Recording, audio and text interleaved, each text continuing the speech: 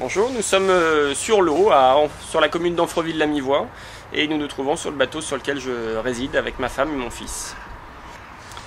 Euh, l'idée m'est venue de, mes études universitaires. Suite à une thèse de doctorat que j'ai réalisée sur la vallée de la Seine, j'en suis venu à m'intéresser euh, aux mariniers, au monde de, la voie d'eau, au monde des navigants et puis euh, aux différentes personnes qui résidaient à proximité de l'eau ou sur l'eau.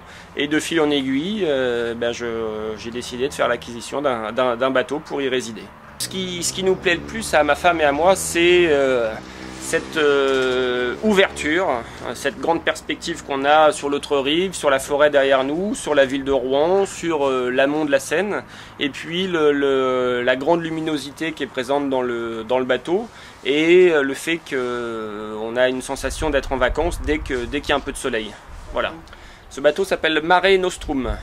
C'est un bateau qui est, au gabarit Fraissinet, donc un gabarit standardisé en France, euh, pour simplifier 39 mètres par 5, qui était fait pour euh, rentrer et naviguer sur l'ensemble des voies d'eau du bassin européen, et pour euh, rester en France, qui permet d'aller du Havre à Marseille, ou du Havre même à Sète.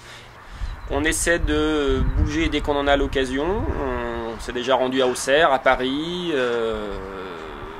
et puis dans, tout le coin à proximité. Et puis le, projet qui nous fait rêver, ce serait de partir d'ici et d'atteindre euh, la mer Noire, euh, donc en remontant euh, la Seine, puis l'Oise, passer par les voies du nord de la France, c'est-à-dire l'Escaut, éventuellement la Meuse, rejoindre le Rhin, remonter le Rhin, rejoindre le Danube, descendre le Danube et atteindre la mer Noire.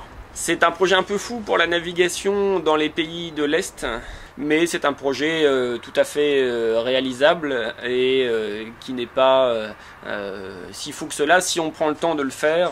Donc notre, idée c'est de faire en, de faire l'aller-retour en six mois à peu près. Je déconseille aux personnes qui ne sont pas habiles de leurs mains ou prêtes à se salir les mains de vivre sur un bateau. Je déconseille aussi euh, à des personnes euh,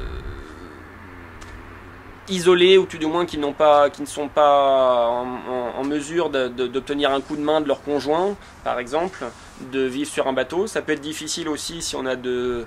Euh, de jeunes enfants, si on ne fait pas attention, ça peut être difficile. Enfin, il y, a tout un tas d'éléments, euh, euh, de contraintes euh, dont il faut bien avoir conscience quand on commence à acheter un bateau.